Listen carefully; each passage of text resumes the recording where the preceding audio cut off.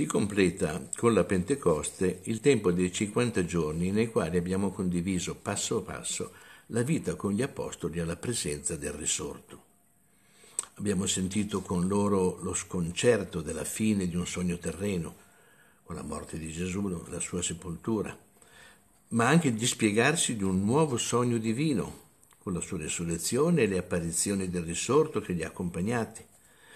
Abbiamo condiviso con loro il riemergere nella memoria delle vicende vissute con Gesù, delle sue parole e delle sue azioni, e cominciato a capire insieme a loro quanto questi eventi fossero la rivelazione di un'immagine di Dio totalmente nuova, superiore a quanto mai pensato. Abbiamo forse provato anche un po' il disorientamento il giorno dell'ascensione, del distacco, e quella sensazione forse di essere più soli di prima.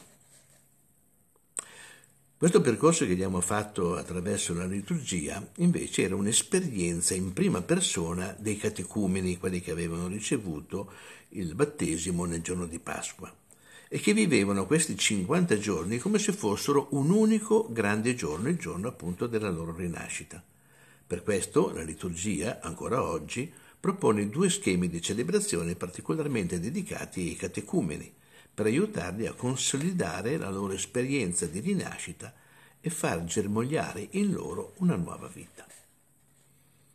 Nella nostra messa, quella dei battezzati non più neofiti, ripercorriamo la potenza del dono dello Spirito, che entra con forza in quella sala, scuotendola fin dalle fondamenta, la sala dove sono radunati gli apostoli, e irrompe su di loro con doni straordinari descritti anche nella epistola di Paolo ai Corinzi.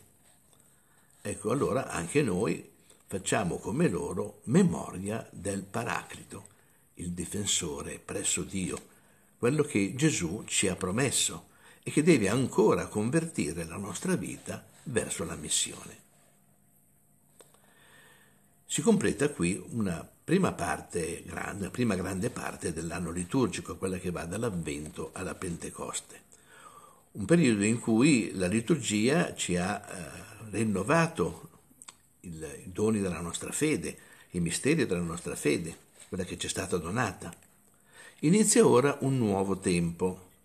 In questo tempo la liturgia ci vuole attivi con tutte le nostre caratteristiche umane, e sostenuti dallo spirito rinnovato di Dio, dovremo coinvolgere anche la parte più razionale di noi, in un percorso che si definisce mistagogico, cioè della progressiva intelligenza della fede, cioè comprendere a fondo cosa vuol dire per noi la fede che ci è stata donata. Intelligenza nel senso originale del termine, intus, leggere, eh, leggere dentro, leggere in profondità, oltre quello che è la prima sensazione, la prima apparenza e per noi anche oltre quello che già crediamo di sapere e di conoscere in profondità.